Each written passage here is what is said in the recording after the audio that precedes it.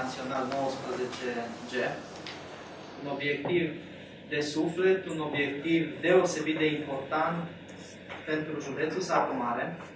Vreau să vă spun că, din punct de vedere, e o situație specială și dumneavoastră este special pentru că ați reușit să rezolvați această problemă. Acel drum de vreo 15-20 de ani este promis de Consiliul Județean și de, indiferent ce conducere a fost, nu a reușit să realizeze acel obiectiv.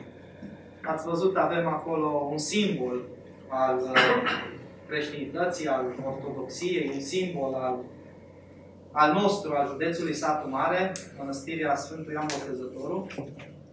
Și cred că am dat un semnal puternic și din asta ați dat un semnal puternic și de fermitate că se poate.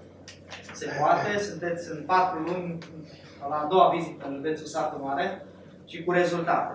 Cu rezultate simțitoare. 9 km de drum național modernizat, reabilitat, pe forțe proprii, fără proceduri, fără scuze că ne mănâncă licitațiile și tot felul de scuze pe care le-am auzit timp de 20 de ani.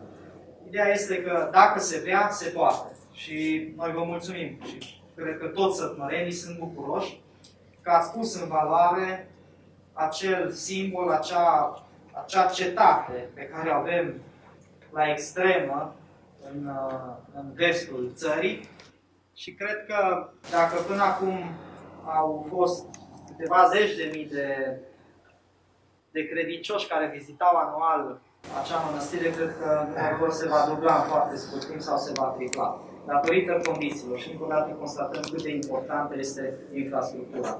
Modernizarea infrastructurii și faptul că de asta a spus pe prim plan modernizarea infrastructurii, cred că va relansa economia, va relansa economia locală pe care noi avem în vedere și cred că doar prin uh, drumuri modernizate și condiții bune de trafic putem redinamiza economia. Încă o dată vă mulțumesc. Da, vă rog.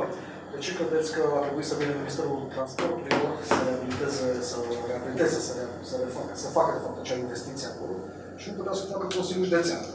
Cum vă explicați așa? Sunt cu poliția în care nu aveți un vicepreședinte la Nu au putut să... Un uh, obiectiv atât de important, atât de punct de vedere spiritual, cât și turistic.